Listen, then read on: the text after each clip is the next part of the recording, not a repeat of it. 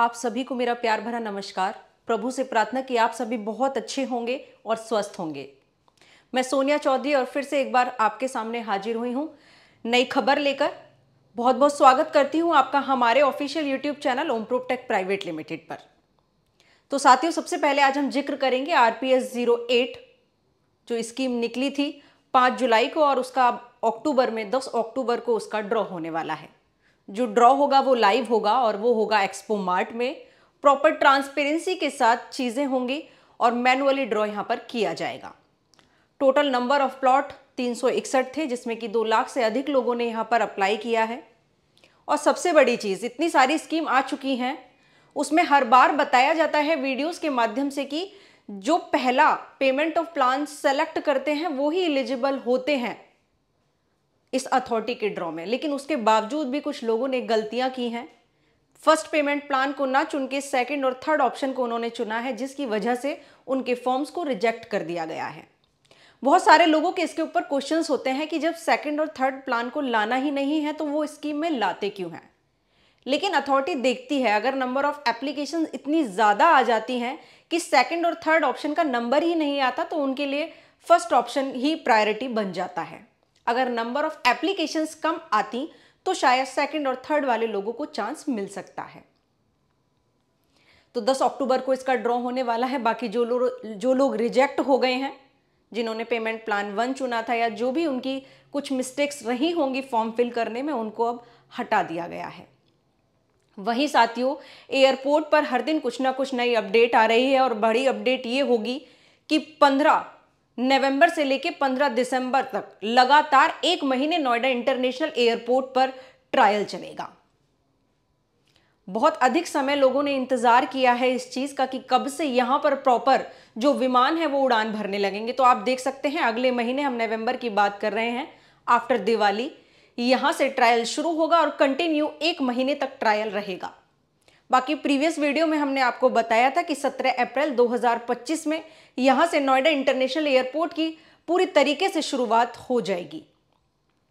और जो भी एक महीने ट्रायल चलेगा, वो सारी चीज़ों का परीक्षण किया करेगा कि क्या कैपेबिलिटी है नोएडा इंटरनेशनल एयरपोर्ट की किन किन उपकरणों पर अभी काम करना है किन किन उपकरणों की अभी कमी है, उसको लेकर एक महीने तक प्रॉपर टेस्टिंग चलेगी।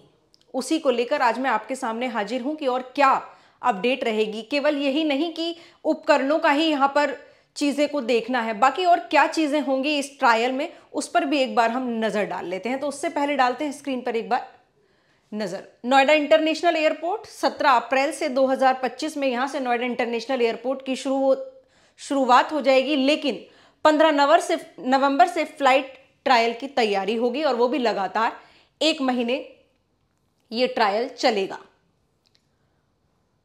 नोएडा इंटरनेशनल एयरपोर्ट की फ़्लाइट का ट्रायल। लगातार एक महीने तक जो फ़्लाइट हैं, वो लैंड और टेक ऑफ़, दोनों ही होंगी, लेकिन उसमें कोई यात्री नहीं होंगे। फ़िलहाल केवल एक तरीके से टेस्टिंग होगी फ्लाइट्स की और नोएडा इंटरनेशनल एयरपोर्ट की, ताकि संचालन की सभी तकनीकी ज़रूरतें पूरी हो सकें। जो भी ज़रूरतें हैं अभी, जिन भी चीज़ों की कमी रहेगी, एक उनका अंदाज़ा उनको लग जाएगा ट्रायल के बाद। और सुविधाएँ कैसे कैसे देनी है यात्रियों को? अभी किन सुविधाओं की कमी है यात्रियों को देने के लिए और क्या हम फैसिलिटी दे सकते हैं? इन सारी चीज़ों का भी एक निरीक्षण हो जाएगा इस ट्रायल के बाद।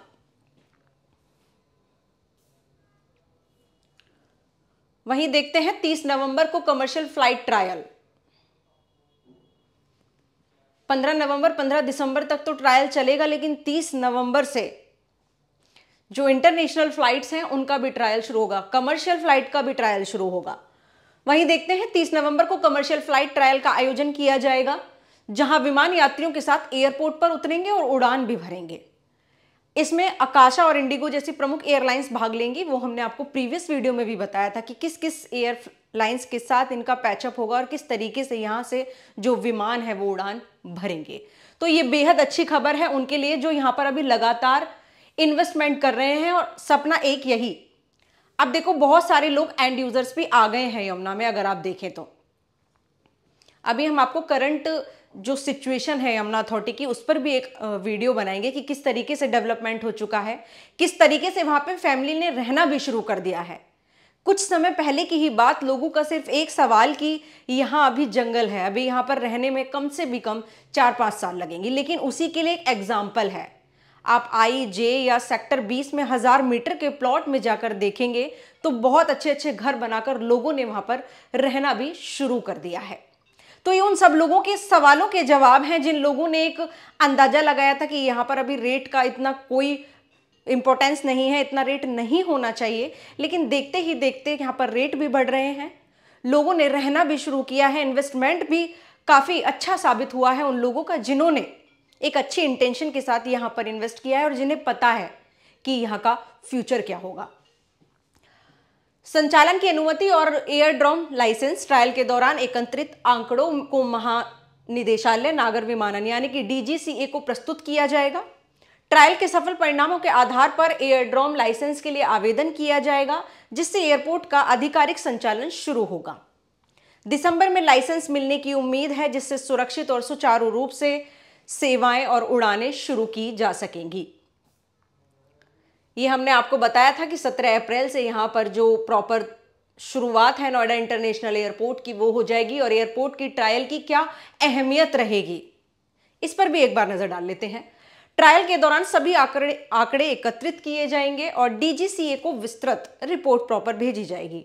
यह ट्रायल न केवल उपकरणों और सेवाओं की जाँच करेगा, बल्कि सुरक्षा और यात्री सुविधाओं को प्राथमिकता में रखते हुए एयरपोर्ट को पूरी तरह से तैयार करेगा।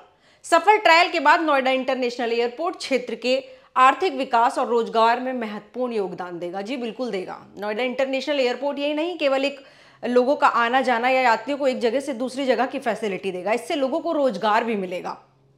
और यमुना अथॉरिटी जो अभी आ रही है, ये प्राधिकरण, ये एक अलग लेवल का मास्टर प्लान के साथ लॉन्च की गई है। यहाँ पर इंस्टीट्यूशनल से लेके इन्वेस्टमेंट से लेके और लोगों को रोज़गार देने तक का सारा प्लानिंग और प्लॉटिंग के साथ ईडा ने अपनी एक पहचान बनाई है।